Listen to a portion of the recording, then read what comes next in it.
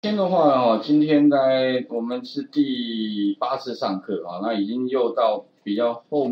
面的课程，难度当然相对的更提高哦，而且重要性也越高啊，因为有些时候啊，你做了写了一些程式哦，资料如果没有储储存起来的话，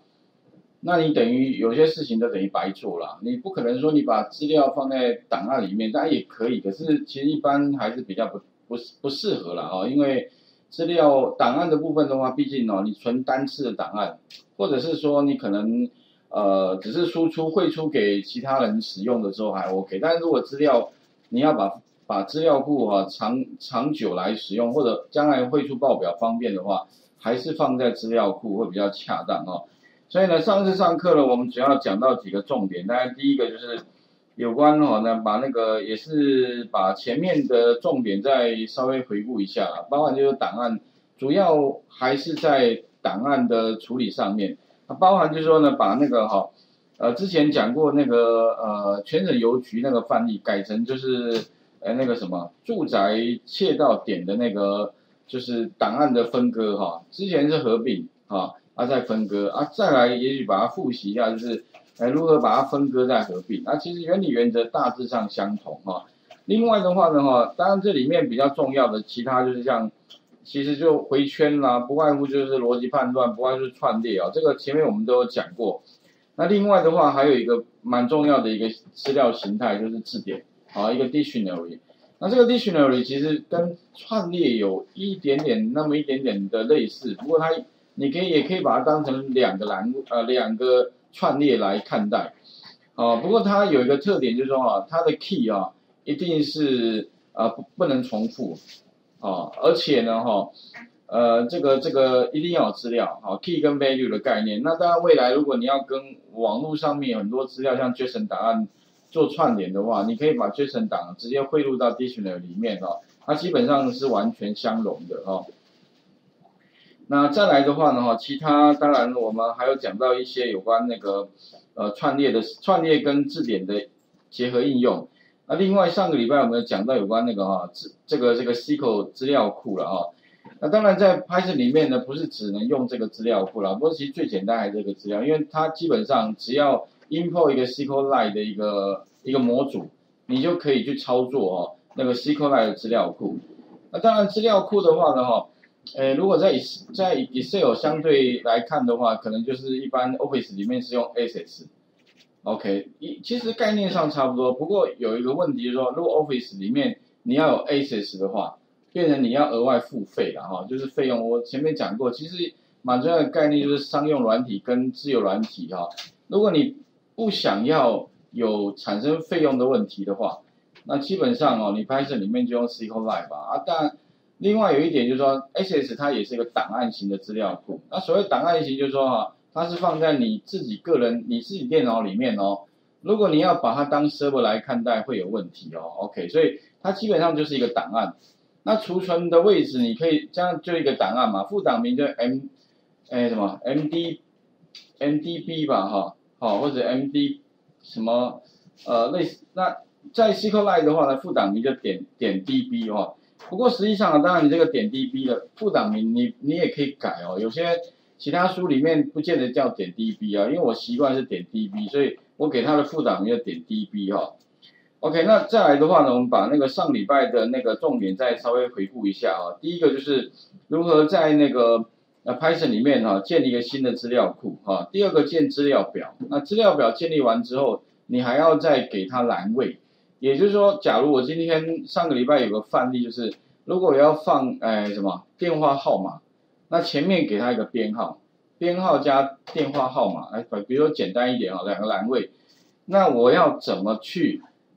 在 Python 里面哈，帮我产生这个刚刚讲的资料库、资料表、栏位，还有把资料放进去，啊，总共也许有四个动作，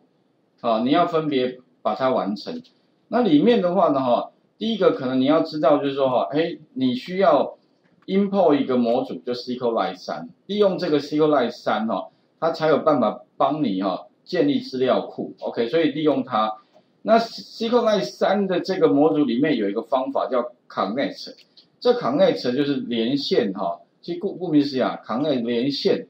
那它意思是说哈，如果你那个资料库不存在的话，它帮你建立；如果已经存在，哎，它就帮你连线。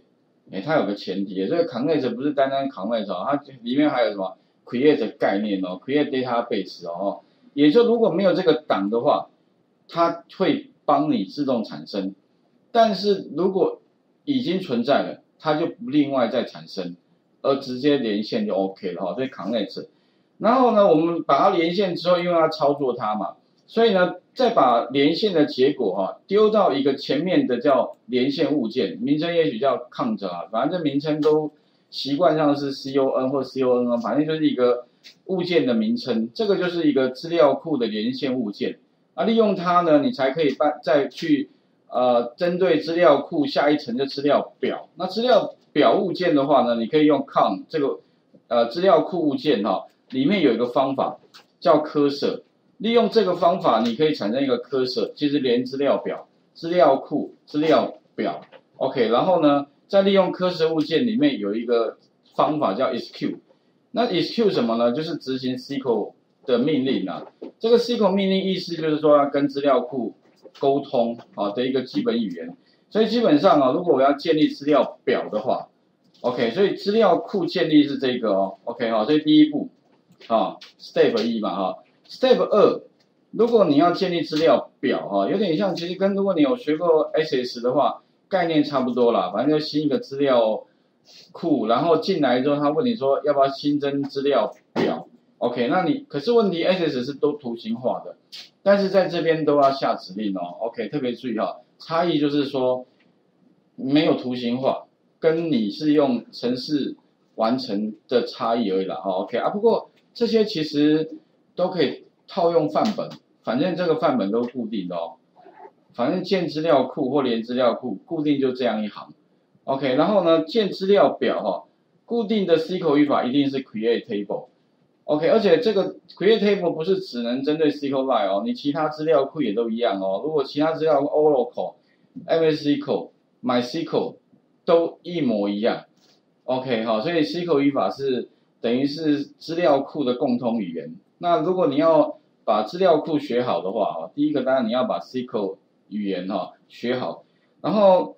if not exist 哈，如果它不存在的话，就帮我建一个叫 table 的一个。资料表哦，table 零一的资料表，这个是资料表的名称。啊，前面呢这边 if not it is 啊，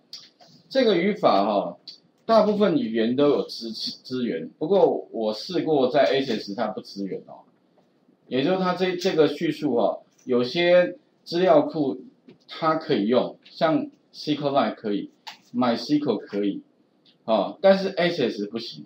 好就麻烦，而且是如果你他们不能用这个方法，是确定说那个 table 是否存在，所以很麻烦。在 Access 里面你要什么？另外写，把一个一个资料，把一个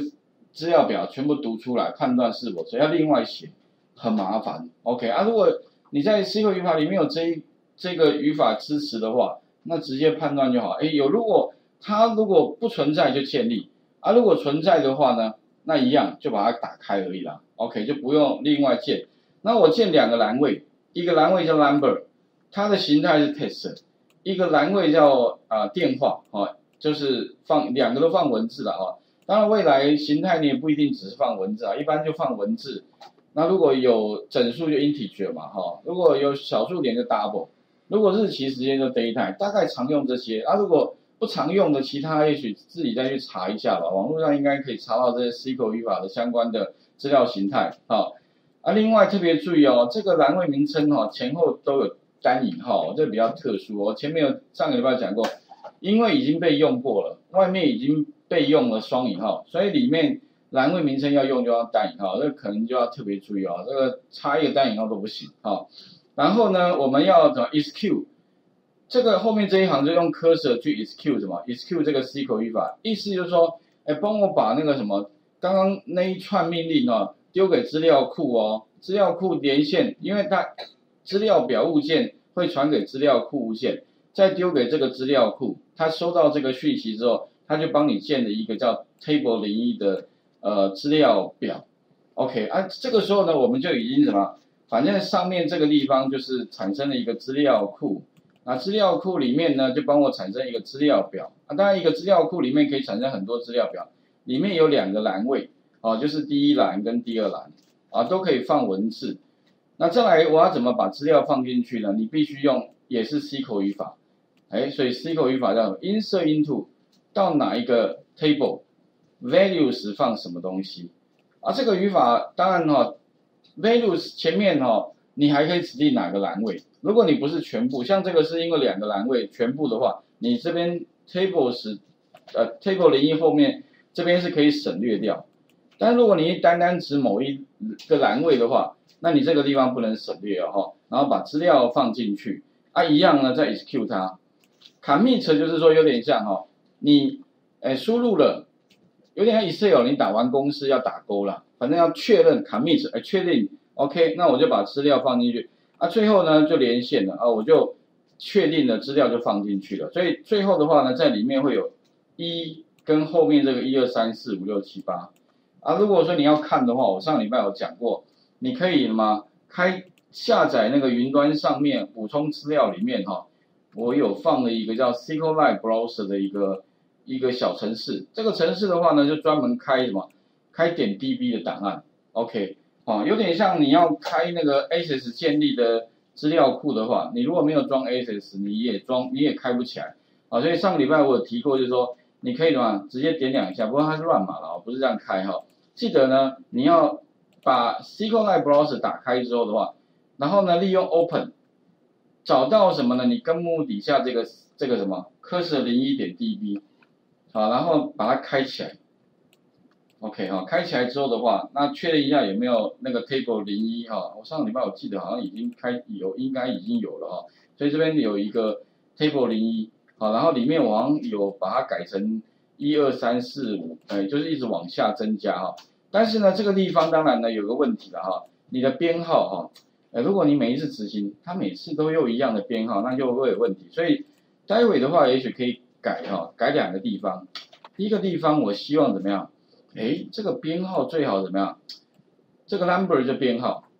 看看能不能帮我改成什么？改成自动增号。哎，所以在 SQL 语法里面有一个 auto increment 哦，OK 哈。然后呢，再来就是说呢，让它这一栏不用输入了。所以这一栏怎么样把它去掉？不要输入。也就是如果你将来哎哎，啊不过最好是什么？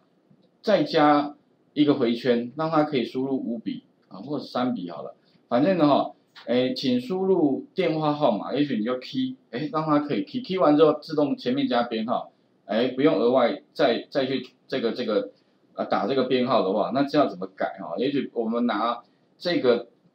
这个范例啊来做修改好了，所以请各位试着把上个礼拜的这个范例稍微看一下啊，上个礼拜范例在这里，那画面先还给各位啊，待会的话呢，我们大概就。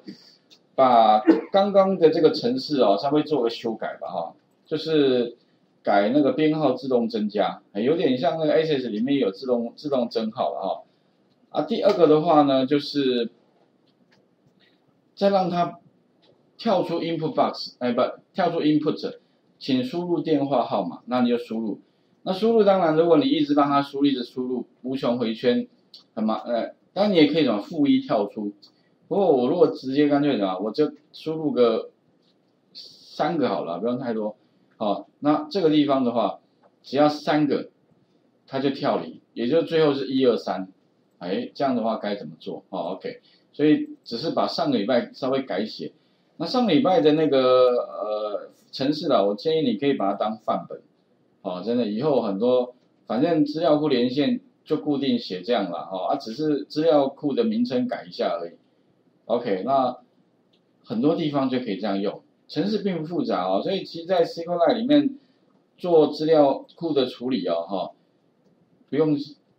把它写的太复杂啊。当然，我的写法跟坊间的书籍写的不太一样哦，不过有一个特点就是我的程式一定比较短，OK 哈，一定比较精简。